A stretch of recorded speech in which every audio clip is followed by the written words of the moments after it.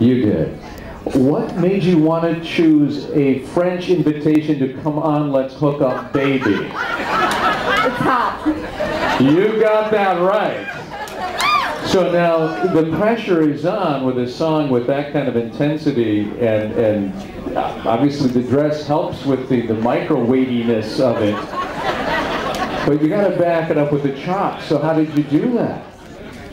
I just looked at the dress and tried my best. Now, coming all the way from Las Vegas.